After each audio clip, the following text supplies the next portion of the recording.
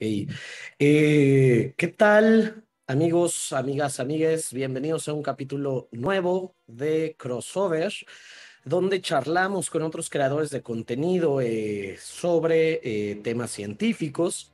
Y el día de hoy estoy muy contento porque tenemos de invitados a dos de los participantes de uno de los podcasts que yo más escucho, han de saberlo, que son Andy y Mike de anarconductismo, perdón, ¿cómo están?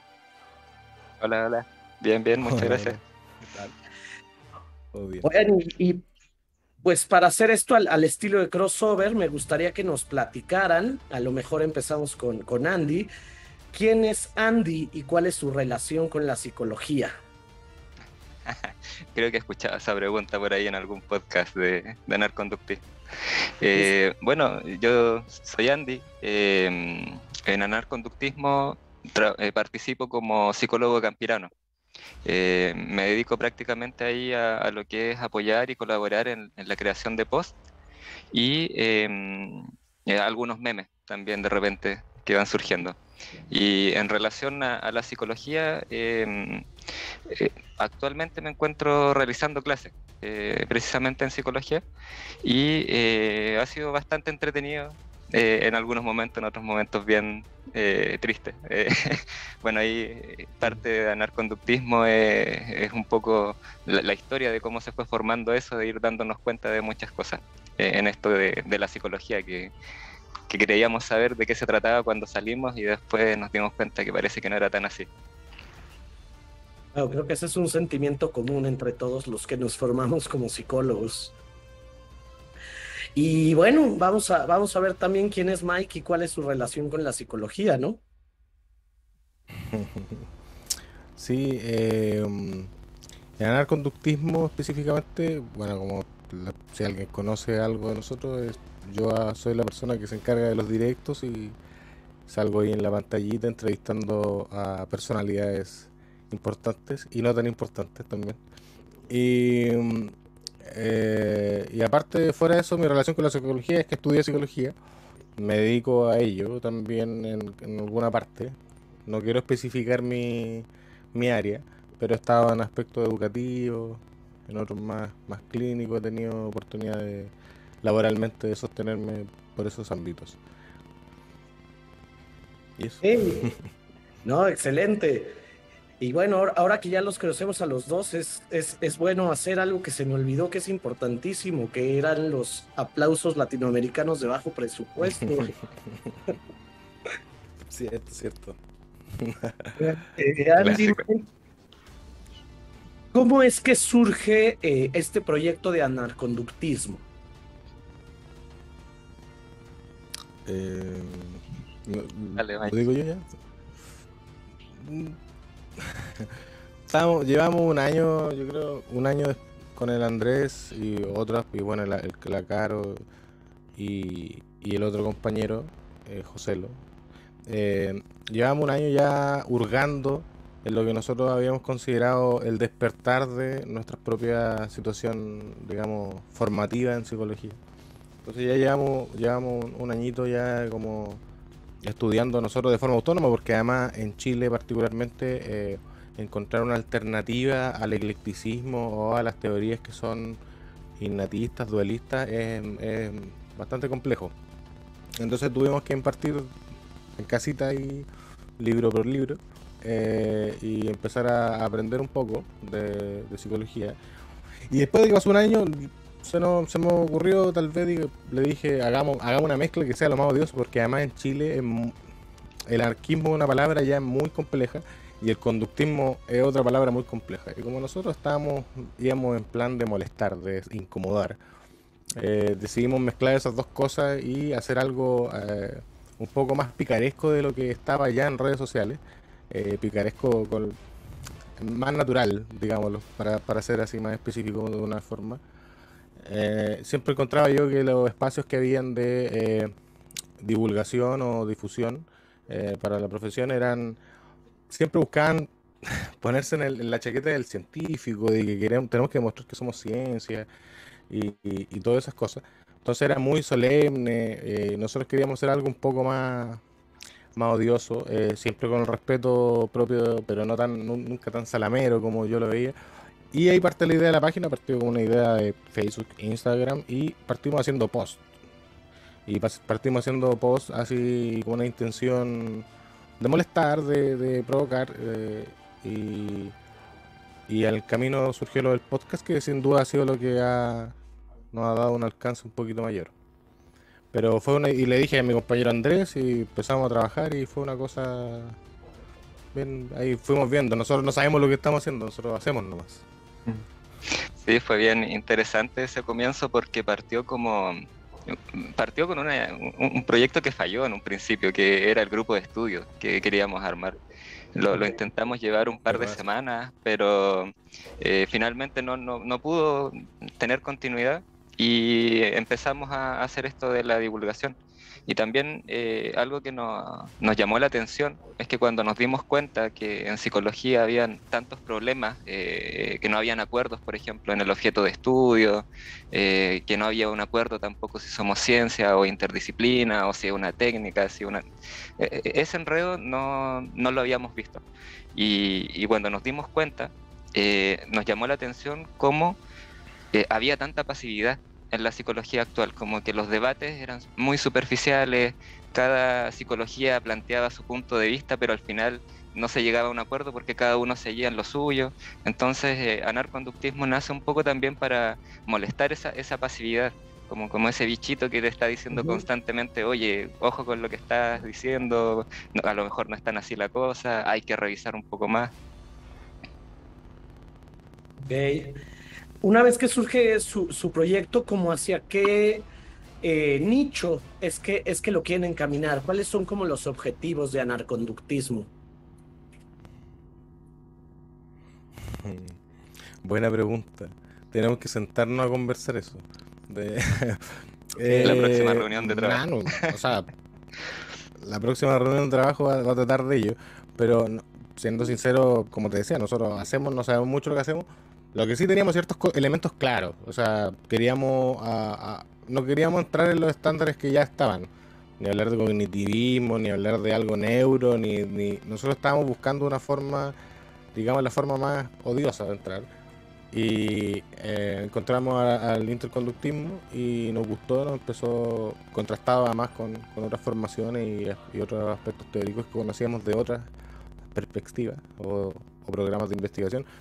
Y entonces, claro, decidimos ir por eso y el objetivo era divulgar eso, pero además el objetivo principal era que se hablaran cosas que eh, no se estaban hablando y que nosotros pudiéramos eh, meter, digamos, en agenda del, diálogo y del, debate el objeto de estudio, eh, cuestionar algunas, algunas prácticas de la psicología que están ahí muy normalizadas pero que no presentan resultados empezar a hablar de cosas que no, no, no, no en realidad nos hacemos todos los locos y sabemos que la casa está, está casi en un incendio. Entonces, eh, para nosotros era importante eso, tensionar. Pero como un objetivo claro, no, no tampoco, no tampoco nos, pensamos en monetizar, porque no se puede monetizar, es muy difícil tener la masividad para monetizar de alguna forma. Y entonces, claro, es, una, es, un, es un proyecto de nosotros para la gente y que, alguien lo pueda disfrutar y encontrar tal vez ahí alguna respuesta que buscaba. Yo creo que, igual me, en relación a la misma pregunta me acordaba de, de Javier, que conversaban ayer en el programa de divulguería, y, precisamente esto de que no, no, somos expertos en algo, sino que en el fondo tratamos de divulgar lo que hemos ido entendiendo y, también utilizar la, la, divulgación como un medio para poder ir estudiando nosotros también, ir eh, viendo si vamos entendiendo o no los temas. De hecho, en nuestras publicaciones tratamos más que, que demostrar una verdad o, una postura, quizás si bien nos acercamos un poco más al, nicho del nicho, que es el interconductismo, em, tratamos siempre como de plantearlo desde las preguntas, desde el cuestionarnos, desde la revisión de lo que estamos haciendo. Claro. No, y esto que dicen me parece súper lindo por la parte, mire, hay, hay, ya un momento incómodo de nuestro delay, ¿no?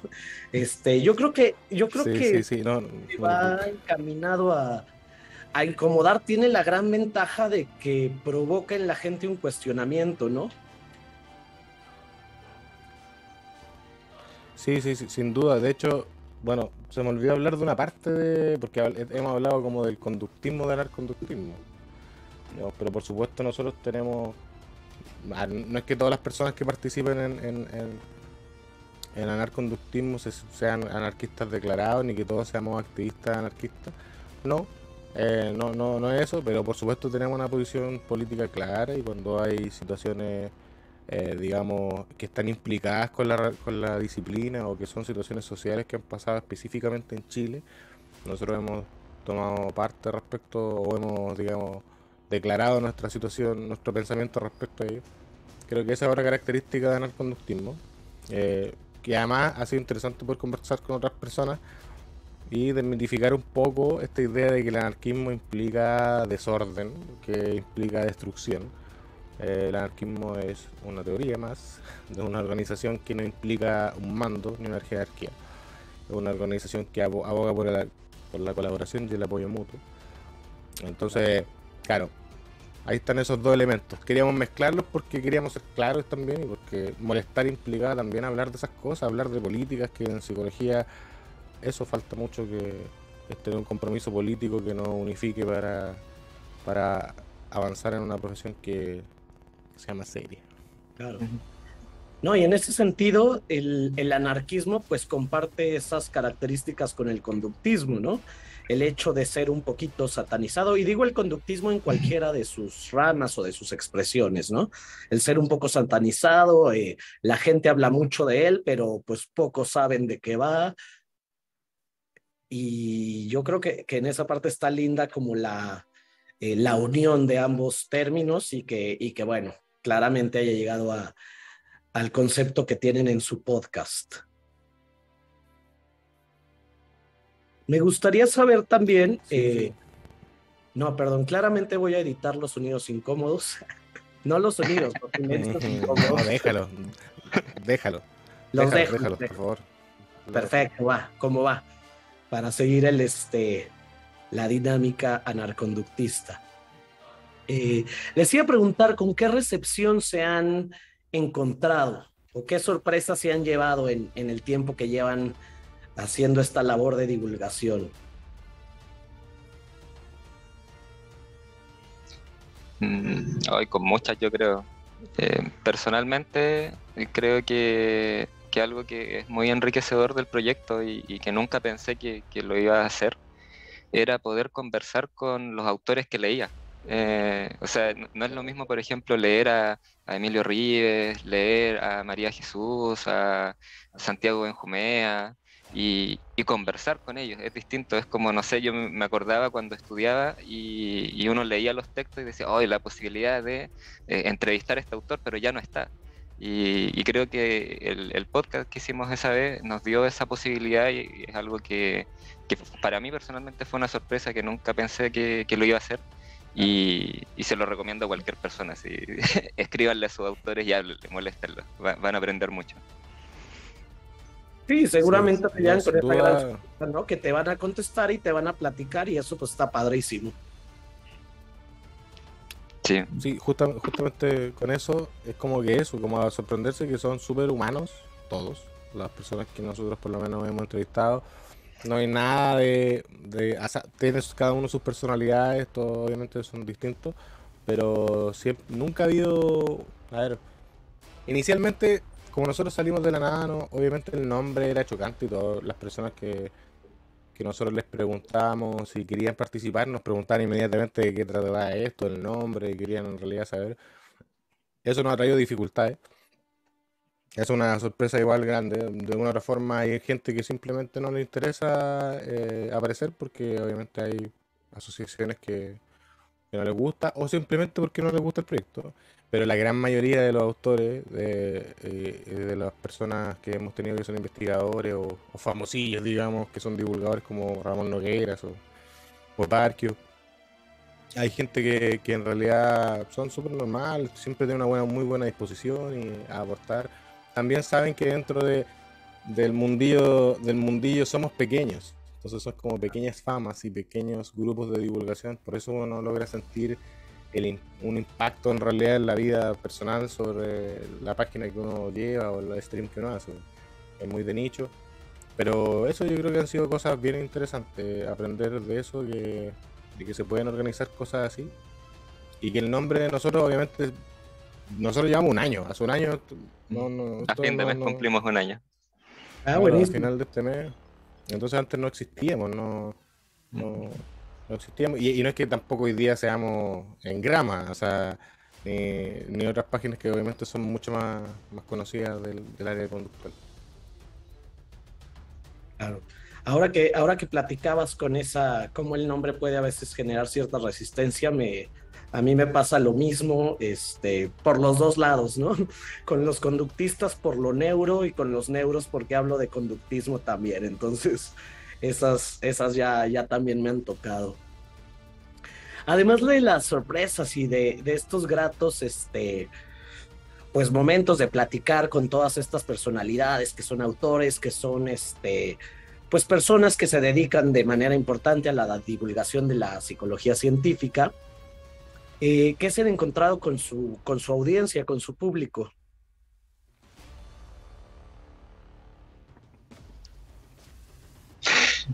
Hay de todo.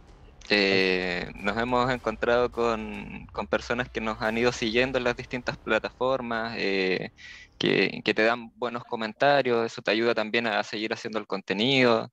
Eh, personas que, por ejemplo, en, los en las entrevistas ponen esto de los minutos, en qué parte va cada tema. Eso eh, ha sido bastante enriquecedor de, darnos cuenta que la comunidad también va aportando a la construcción de, este proyecto. Eh, pero también nos hemos encontrado con harto hate de parte de muchos seguidores. Eh, creo que también nos ganamos mucho hate al principio. Eh, creo que partimos muy, muy de golpe. También yo creo que sin conocer muchas cosas a medida que hemos ido avanzando eh, y hemos ido aprendiendo y desaprendiendo muchas cosas. pero sí, también hay momentos bien, bien complejos cuando, no sé, llevas mucho tiempo tratando de hacer un post, un video, un clip y los primeros comentarios son opiniones de personas que, sin ningún fundamento critican lo que están viendo, o sea, ni siquiera revisaron la referencia antes de, hacer una crítica a lo, que se expone. Claro, claro. Oye, eh, me gusta hablar del hate. No sé, no sé por qué es como, es como divertido, gracioso. Este, ¿Con qué se suelen topar más a menudo? Mm. O sea, usualmente no es, no es hate directamente con nosotros. O sea, en ocasiones sí. Obviamente todo el contenido que uno sube a las redes es responsabilidad de uno y uno, uno se hace cargo de ello. Pero eh, hay gran parte del contenido y la gente odia lo que dice Emilio Rive, odia lo que dice María de Jesús. Y en eso, en el hate ahí es más claro, es directo y siempre ofendiendo y cosas así. A nosotros particularmente, bueno, yo a mí me toca vivir más de ello, pero poco también. O sea, usualmente en Twitch hay alguno que otro eh, personaje que viene a provocar en realidad. Viene a buscar, eh, digamos, viene a buscar que yo reaccione de una forma agresiva. Y ya hemos tenido, pero muy, muy pocos episodios donde simplemente se banea y se acaba en realidad. Pero también tiene que ver con que nosotros hemos adoptado una postura respecto a los comentarios que, que creo que ayuda a eso, que simplemente si la persona quiere pelear y está ahí, nosotros no respondemos. Eh, si la persona tiene alguna duda, alguna consulta, respondemos. Entonces, simplemente eso. Como que hay de todo, pero es muy bajito el hate, es poco. Ya. No, muy bien, y sí, a veces, y obviamente hay cosas que valen más la pena, cosas que valen menos la pena, y, y creo que eso también se va aprendiendo conforme pues vas, va creciendo tu, tu canal, va creciendo tu alcance y también pues vas aprendiendo de otros, ¿no? Claro. Me gustaría saber, a, pues ahora que han cumplido un año con este proyecto, ¿cómo ha cambiado su visión de la psicología? Okay, que no necesariamente tiene que ser para bien, por lo que, por como veo en sus caras, ¿verdad?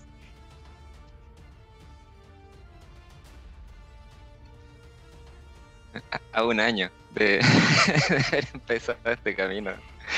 Em, yo creo que han cambiado muchas cosas, muchas, muchas. O sea, em, me siento, personalmente me siento muy identificado con una de las frases que, que decía Emilio Rivia en una de sus entrevistas, de que salimos de la universidad pensando que sabíamos psicología, empezamos a, enseñar psicología creyendo que sabíamos psicología y, creo que cuando me metí en este proyecto de narconductismo en realidad empecé a entender de qué se trataba la psicología y, el enredo que había en todo esto. Creo que, pasé como por unas etapas así de darme cuenta de la situación luego de darme cuenta de la situación, un shock y una depresión gigante de no, no ver futuro en esto y de que todo está destruido. Y después empezar a darme cuenta de que en todo este caos también habían elementos, eh, construcciones eh, que, que, habían personas que se habían dedicado a esto y, y, querían hacer de la psicología algo serio.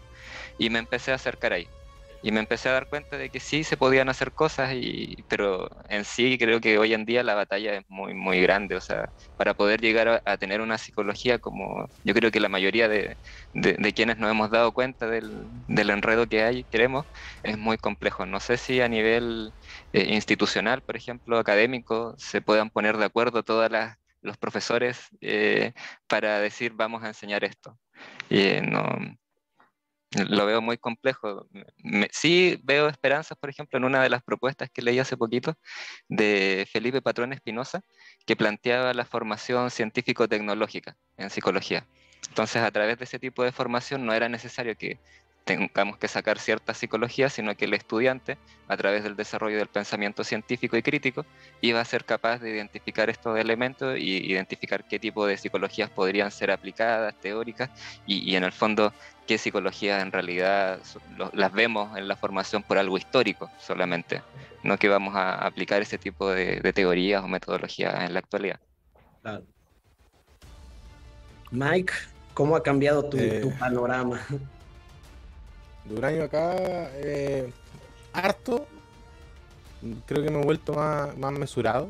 Creo que eso, eso podría ser una característica que me he entregado estos años. Este año particular de haber conocido todas las, personas que conocimos y todo el trabajo. Y esto, esto igual parece, parece que estuviéramos hablando de que hemos, hemos logrado grandes cosas, pero en realidad es, es tener la oportunidad personal de nosotros del grupo de seguir desarrollándonos, de seguir conociendo algunas personas por saldar dudas y, en realidad aprender continuamente. Esa, esa, era la idea. Ahora, poco ha cambiado en realidad porque tampoco cambian las cosas sistémicas a nivel del sistema. Y yo he cambiado en términos de eso, de estar más tranquilo, más mesurado. Ahora encuentro más esperanza en algunos aspectos y, y más desazón en otros, pero ha sido un añito bonito. No, está padrísimo eso. ¿Cómo es? Yo, eh, fíjate que no conozco mucho cómo está el panorama de la psicología en Chile. Tengo más claro cómo está en Argentina. No sé si sean similares o, o, cómo es la onda allá en Chile. Dale, Mandy. Tú trabajas en eso.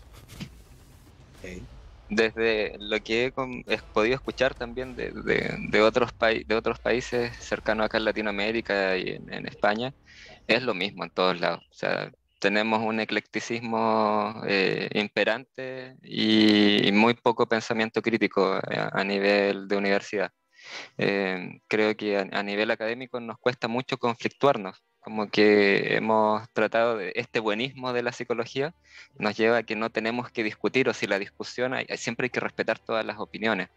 Entonces creo que, que esos elementos eh, trancan un poco el poder continuar avanzando en la construcción de, una psicología como ciencia, por decirlo así. Creo que, el panorama es muy similar en todos los lugares. Salen psicólogos con el cartón de psicólogo, eh, con el título, y, todos tienen el mismo título, pero uno se tira por el psicoanálisis, otro eh, aplica análisis funcional, otro es de las terapias narrativas y todos tienen el mismo título. Entonces es una cosa de locos. el colegio de psicólogos no hasta tienen ciertos reglamentos, pero en realidad la implementación de esa fiscalización no no veríamos tantos psicólogos ofreciendo pseudoterapias online. O, a nosotros nos enseñan en la, universidad de que nadie puede salir con los cinco años de carrera a hacer terapia. Y, uno luego de un año ve a colegas o, estudiantes que van egresando y que van abriendo sus perfiles de atención online en, Instagram, sin tener ningún tipo de, especialización en el área. Y tampoco digamos que, que en la formación hay una orientación muy clara hacia lo clínico. Entonces, creo que está complejo como en todos los lugares. Sí, es cierto, es cierto eso y, no y no, no hay un programa como tan claro hacia dónde va, porque mm. el Colegio de Psicólogos, como decía Andrés, en Chile, eh, es, digamos, como una entidad privada. Uno tiene que pagar para colegiarse y, y, ahí como que tú pagas para sumergirte en la, digamos, en el código deontológico que ellos tienen. No es como que todos los psicólogos en Chile, eh, al estar titulados a tener la licenciatura, están dentro del colegio de psicólogos. Entonces, claro, es inexistente el tipo de, algún tipo de política pública que, digamos, eh, ordene la cosa. O sea, aquí hay libertad absoluta, muy neoliberal. Y lo, peligroso de eso es que hoy en día en, el ámbito político se están discutiendo leyes eh, en relación a la salud mental a poder ampliar, por ejemplo, eh, espacios de atención donde las instituciones puedan contar con más psicólogos para hacerse cargo de, estos problemas de salud mental que, que, también son bastante cuestionables. Pero ahí uno también se pregunta qué psicólogos son los que van a ocupar esos espacios. Entonces, ¿y en qué medida eso va a beneficiar el bienestar de, de las personas? Sí, totalmente. ¿No? Porque Digo, ahí ya sin entrar en la discusión de lo mental o de lo no mental, eh, dándole un poquito de crédito a que el gobierno le ponga atención, yo creo que lo, realmente preocupante es eso, ¿no? Que al final, pues el que se supone que va a ser el experto, pues sepa Dios qué va a pasar por ahí, ¿no? Claro, claro. Eso, eso es lo complejo. y, no solo en el ámbito, eh, digamos, la salud mental, ahí en Chile también propuestas de incluir o que haya un presupuesto específico para un psicólogo o otras entidades técnicas en los colegios, en las escuelas. Eh, que no tengan, porque aquí hay ciertos programas específicos donde se puede postular y tener un, equipo técnico de personas que te ayude. Claro, entonces nos, expandemos en todos lados, nos seguimos expandiendo los psicólogos, creando necesidades, que es nuestra, nuestra mejor lo que, lo que más hemos tenido éxito es en crear necesidades en toda la área. O sea, estamos podemos discutir y, todas las otras profesiones y todas las otras ciencias no, nos tienen algo que recriminar. Entonces, claro, eh, es que el crecimiento es muy exponencial, pero no a la vez de, eh, digamos, cimentar buenas bases que nos permitan tener una formación de calidad y por lo tanto un resultado de calidad y sincero. no puede ser que la psicología hoy día resuelva todas las cosas que dice. O sea, eso, eso no es real. Sí, sí, sí, totalmente. Eh, si, por ejemplo, eh, no sé, anarconductismo, Mike Candy les dicen, bueno, a ver, ¿cómo debe de ser un grado bien estructurado y correcto de psicología? Como por dónde empezarían a arreglar las cosas. no sé, Andrés, ¿qué, qué, qué opinas tú de eso? Yo concuerdo en cierta medida con, esta idea de, cerrar las carreras de psicología por un año, por lo menos. Ok. En todo el mundo. Y, que en ese año nos sentemos a conversar, a, discutir y, que de esa discusión salga algo coherente y que todas las escuelas apliquemos eso. Creo que mm, no creo que tengamos que, dejar de, por ejemplo, dejar de hablar de psicoanálisis en las universidades. O sea, hay que hablar, hay que conocerlo como una mirada histórica, hay que entenderlo y hay que verlo con una perspectiva crítica, al igual que todas las demás teorías. Creo que si fuese como el grado ideal, debería, primero tenemos que definir si es que vamos a hacer una ciencia o si vamos a hacer una profesión, porque de eso depende mucho, o si vamos a hacer una mezcla entre ambos. Porque si vamos a hacer una ciencia o una profesión, esos cinco años deben estar orientados a si vamos a hacer ciencia, resolver problemas de conocimiento y si somos una profesión, resolver problemas sociales utilizando esos conocimientos de la ciencia. Y si queremos ser ambas, no podemos formarnos en cinco años. O sea, deberíamos tener una formación mucho más larga que nos permita tener una fuerte base eh, teórica, tener claro las distintas psicologías que existen, los distintos modelos que existen, las técnicas que existen, y desde ahí también tener una fuerte formación en pensamiento crítico, en poder eh, saber, más que hacer investigación, leer investigación saber e, entender qué es lo que estás leyendo, darte cuenta que no porque un paper con 30 personas saca conclusiones eh, en España, lo puedes aplicar en el colegio con el grupo de personas con el cual estás trabajando. Entonces creo que si bien hay mucha información, creo que en la formación también nos falta eh, enseñar cómo discriminar esa información y qué hacer con esa información. Yo creo que, por ahí deberíamos partir teniendo una fuerte base de, fundamentos teóricos y luego, eh, si es que vamos a hacer algún tipo de ámbito aplicado, olvidarnos del ámbito clínico. Eh, o sea, personalmente creo que la clínica hoy en día atiende muchos problemas que están en el orden de lo moral o específicamente de situaciones sociales.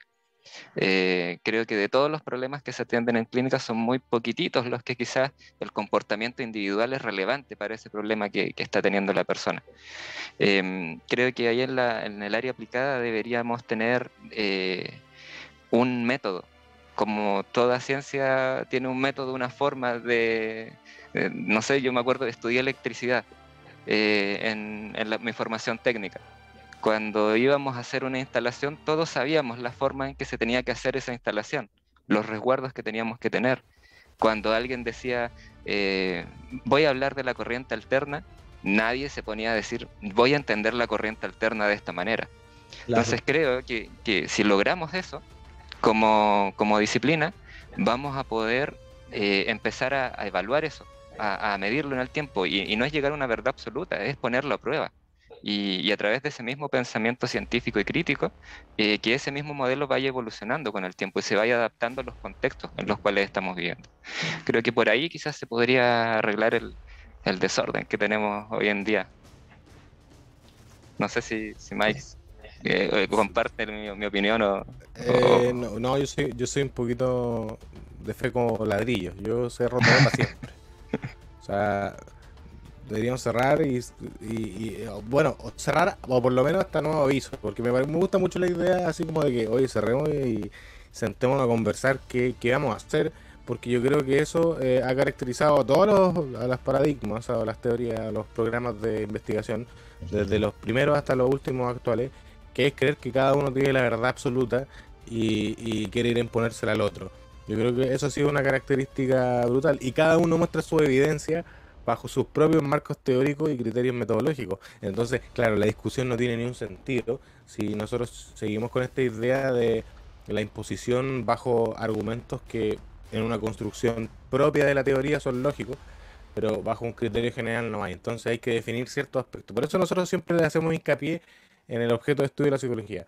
Hacer hincapié en eso lo que busca es que logremos unificar un aspecto básico para que después haya que unificar otras cosas que no porque tengamos el mismo objeto de estudio vamos a estar de acuerdo en todas las cosas y cómo se desarrolla ese objeto de estudio.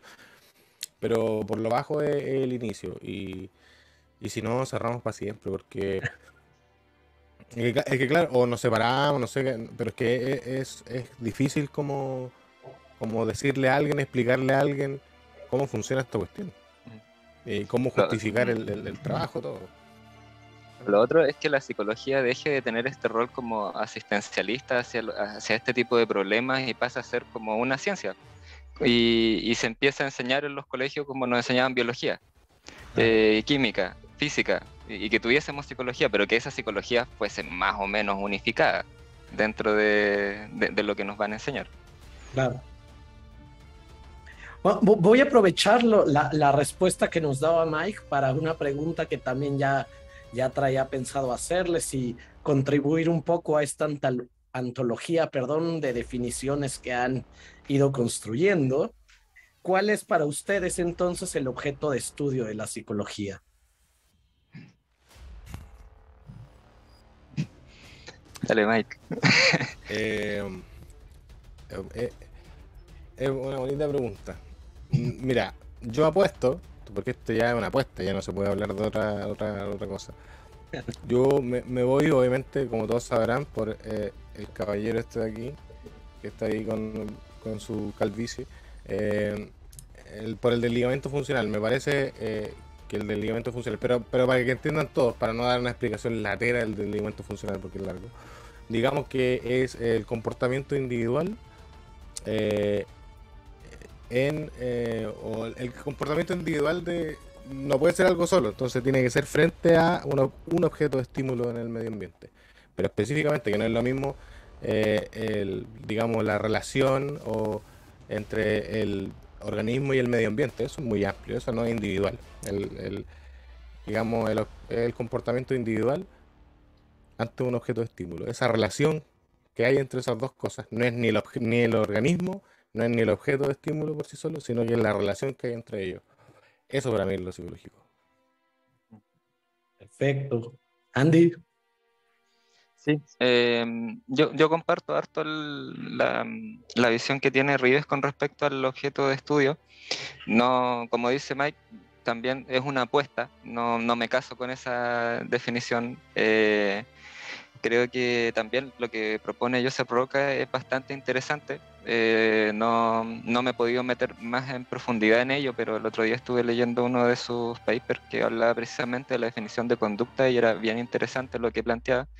Pero creo que cuando hablamos de objeto de estudio y, y como tratando de recordar o, de sintetizar todas las respuestas que nos han entregado en los distintos eh, podcasts, creo que todos están de acuerdo en que tiene que ver con la interacción entre el organismo y un elemento del ambiente.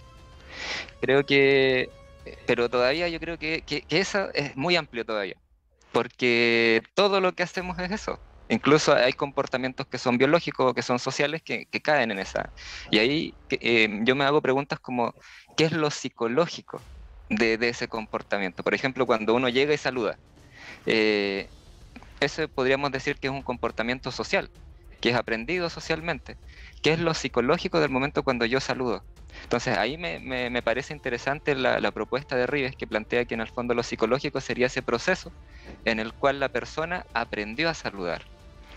O sea, e, en ese momento en que ella no sabía saludar, tuvo que desarrollar un proceso de aprendizaje para poder lograr aprenderlo, pero después en algún momento lo empezó a hacer de manera automática cada vez que llegaba a un lugar. Ahí ya dejó de ser psicológico el comportamiento. Me, me llama la atención eso y me interesa porque delimita de cierta manera nuestro accionar. Y, más que, como nos decía Ríes en algún momento, más que, que quitarnos trabajo o áreas de trabajo en la psicología, eso nos permite hacer un trabajo más honesto dentro del área que nosotros realizamos y poder también delimitar nuestro campo de acción con las otras profesiones que están tratando de resolver problemas sociales. Eh, eh, ¿Puedo agregar algo? Me disculpo la comunidad que está interviniendo. Eh, claro, que eh, lo, grande del objeto de estudio también es, es, problemático porque es difícil de atender y mucha gente plantea el comportamiento o cosas súper abiertas como, como, como si fueran en realidad elementos que nosotros hemos creado. Es cierto lo que dice Landy de una forma que, que hay que delimitar y lo de delimitar es la mejor forma de, de poder llevar esto a una practicidad que sea más clara. Eh, no puede ser que la psicología sea la teoría del todo o sea, ver, ver cómo se comportan las personas. O sea, no, no. O sea, eso no puede ser. Eso, eso tiene criterios universales. O sea, es, gigante. No, no, no, no puede una ciencia partir de, esa premisa. El comportamiento humano y animal, mucho menos. O sea, los etólogos nos van a terminar apuñalando. Entonces, eh, y, y, tampoco tampoco entrar en la reducción, porque como dice el Andrés, la mayoría de las personas que hemos entrevistado han quedado de acuerdo en la relación, porque eso ni reduce eh, el objeto a lo biológico, ni lo reduce a lo social. Está entre relación. Y lo que Rives dice ahí es que esos comportamientos pasan por transiciones, como sea un comportamiento biológico que es mover la mano, pasa una transición de, donde quiere otra una habilidad, una, una habilidad que además responde a criterios sociales. O sea, cuando saluda, esos los criterios son sociales, ya no son biológicos. No es, la, primera instancia de mover la mano de una forma, en un patrón, fue fue, digamos, el primer, digamos, adquisición del, de la habilidad, pero después obviamente cumple otros criterios y, es funcional a otras cosas. Entonces, claro, que seamos la teoría del todo hace que haya gente en todos lados del mundo haciendo todo. O sea, diciendo cómo se tiene que organizar una, una empresa, una comunidad, un colegio, cómo aprenden las personas, cómo sufren, cómo se superan, eh, todas las cosas. Entonces, claro, ahí está nuestra, nuestro cuestionamiento de ello. Ok.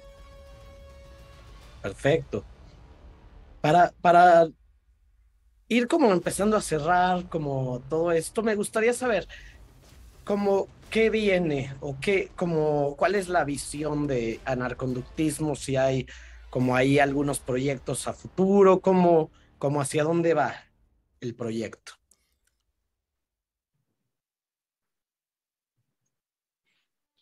Suelta todos los spoilers, ¿o no? O algunos no.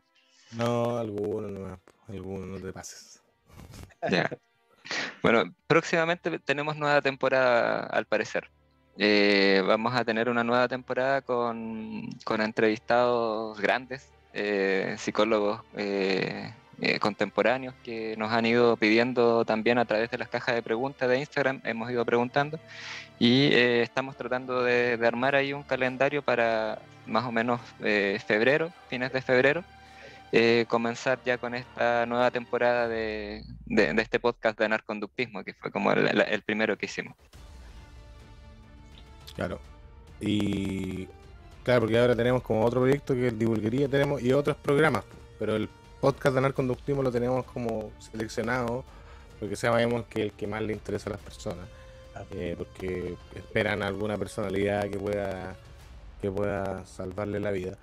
Pero pero sí hay otras cositas, obviamente estamos es difícil planificar porque eh, o sea, nosotros lo hacemos, pero no es nuestro trabajo esto, o sea, tenemos que que ganarnos el pan de otra forma.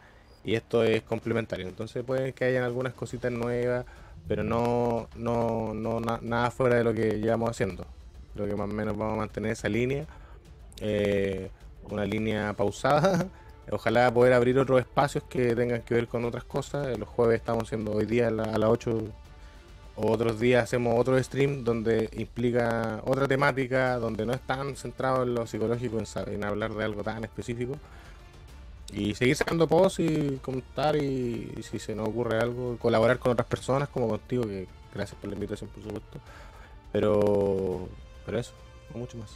yo creo que va como por poder potenciar el, ámbito de Twitch, de, las distintas plataformas durante el año. Van yo creo que vamos a ir sacando distintos programas y ver cómo sistematizamos también la, información que, hemos podido recabar con, todo este proyecto, que es mucha. O sea, eh, hay muchas cosas que se pueden hacer con, el material que hemos podido eh, y con el contenido que hemos podido generar acá en Anarconductismo. Perfecto. Entonces, este, por ese lado, pues vamos a estar súper atentos. Y quisiera saber si se puede preguntar y no les incomoda, eh, excluyendo el episodio de, Emilio, ¿cuál ha sido como pues el que más han disfrutado? Buena pregunta. ¿eh? Buena pregunta. Les dije excluyendo el de Emilio Rives porque, bueno, como hemos hablado mucho de él, pues hubiera... Es que ese no lo disfrutamos. Yo no lo disfruté. No sé si mi, mi cara, no sé si era parecía de disfrute. Fingí muy bien. Estaba muy nervioso. Emilio o sea, además, además ese día había un, pic de gente que era muy grande, entonces, claro, te pone más nervioso. No, la pasé tan, tan bien. Ahora, con quien yo la, he pasado muy bien, con Ramón Nogueras, por supuesto. Ramón siempre es un, es un agrado escucharlo y conversar con él, muy, muy dinámico. También diría que. Eh, um, mm, ¿Quién más tenemos? Hemos entrevistado a otras personas, no me acuerdo de ninguna, básicamente. No, no, con Ramón me acuerdo mucho, con María Jesús también, una persona muy, muy, muy agradable, eh, muy buena disposición. Es que no había nadie eh, que, que, en realidad me, me, jodiera un poco, así en términos de que, que no, no, no, no. O sea, Emilio estuvo, estuve nervioso, pero en realidad porque había mucha gente y eso hacía que, que yo me preocupase o estuviera más atento, tengo que llevar el, el OBS, estar en directo y estar respondiendo. Estábamos aprendiendo además a hacerlo, no nos habíamos coordinado y repartido bien las tareas. Ahora yo no veo el chat, los chiquillos, los chicos se encargan del chat y todas esas cosas. Pero yo creo que eh, sin dudas con Ramón, con María Jesús, con, con además Santiago Benjumea, gran persona, muy simpática. Él aguantó además, soportó que el stream se cortara porque como estamos en Latinoamérica, aquí se cortó la luz en medio del stream y él esperó y, no, o sea, una persona increíble. Eh, y no, y sin duda muchos más, eh, Jan del Río, que ya es un conocido de la casa, o sea, hemos, hemos, hemos compartido con, con todos, nadie ha sido, ahora por supuesto, si de las risas, yo Ramón me reí mucho. Y creo que todos me han permitido ser eh, yo, en términos de preguntarles, eh, decir estupideces, preguntar tonteras en ocasiones, que son solo por las risas, por ver que son humanos. Hablamos con María Jesús de cine, ella habló de las películas, de las películas que le gustaban, o sea, creo que se dieron situaciones que no se dan en otros contextos, donde todo es full academic. Entonces, claro, ahora tuvimos esa oportunidad, pero todos han sido buenos, pero me quedo con el Ramón, sí, creo que yo en ese sentido creo que, eh, hay episodios en que aprendí mucho. Eh, fueron episodios que me volaron la cabeza, que fue demasiada información y información que nunca la había pensado. Eh, por ejemplo, ahí concuerdo con el, episodio que entrevistó Maica a María Jesús, a Santiago Benjumea, a Felipe Patrón Espinosa también. Es un, un episodio en que hay mucho material muy interesante y con quienes mm, mm, los disfruté más. Eh, creo que, claro, con, con, Ramón uno se ríe mucho, eh, pero personalmente a mí me, me encantaron los dos episodios que tuvimos con Eparquio. El primero, que fue nuestro primer episodio, que inocente, sin saber cómo funcionaba muy bien. Además tuvieron que regrabar, ¿verdad? Claro, porque perdimos la primera grabación y, tuvimos que grabarlo nuevamente, así que no, yo me quedaría ahí con Eparquio, muy buena disposición, muy buena persona, muy un ser humano muy interesante de, poder conocer. Sí, sí, sí, se me olvidó, se me olvidó mencionarlo porque además Eparquio Claro, habló cosas interesantes en el primer stream que se perdió y solo quedaron como 36 segundos. Entonces la gente andaba preguntando y le preguntaba a él mucho. Le preguntaba dónde está, dónde hablaste eso y todo. Entonces cuando lo hicimos, él tuvo toda la disposición y, probablemente lo invitemos de nuevo y a, Edu Polín también, que estuvimos con Edu Polín. O sea, fue, fue una temporada interesante para nosotros que no éramos conocidos. Eso nos abrieron puertas de personas grandes pero en general todos muy, muy agradables. No, no me peleé con nadie todavía. Todavía. Bueno, vamos a, vamos a esperar que así siga, o no sé, incluso a lo mejor resulta incómodo, agradable como cierto pariente de cierta persona en cierto canal. Este, pues Andy Mike, les agradezco muchísimo este pues que hayan estado un rato por acá. Yo acá por la descripción, pues para quien ande despistado y no los ubique, les dejo, dejo todos los links para que vayan a escucharlos, para que vayan a ver su contenido, que sin duda vale muchísimo la pena. Yo recomiendo 100% excelente servicio. este, pues muchísimas gracias nuevamente. Eh, por acá. A, ti, Mauricio, también por la invitación. Eh, comentarte que esta es nuestra primera entrevista que nos hacen como anarconductismo, así que muchas gracias por, la invitación y, la intención de querer conocer un poco más de, este proyecto. Eh, vamos a cumplir casi un añito ahora ya, pronto, así que eh, también agradecerte el espacio, que, en el fondo otro reconocimiento más que se va sumando, creo, al, proyecto que hemos tenido. Como dice Mike, si bien no hemos ganado grandes cosas, creo que a un año eh, hemos hecho muchas cosas y, quizás el tema de, ganar cosas no es tan interesante, pero la, experiencia que hemos tenido ha sido pero eh, espectacular. Así que muchas gracias Mauricio por la invitación. Todo el éxito también en, este canal y en estos episodios de crossover que estás realizando. Sí, sí, no, muchas gracias y saludo a tu comunidad sobre todo que está, que te ve, que te sigue, que te ven tus diferentes ah, formas de, comunicar y bueno, ahí estamos para cualquier cosa y para pelearnos también, cuando quieran. Claro. Me invitan y yo ahí, cuidado. Que, que ellos saben dónde encontrarnos. Exacto. ya saben. Pues felicidades, les mando un abrazote hasta Chile, que estén muy bien. Igual, chao, chao.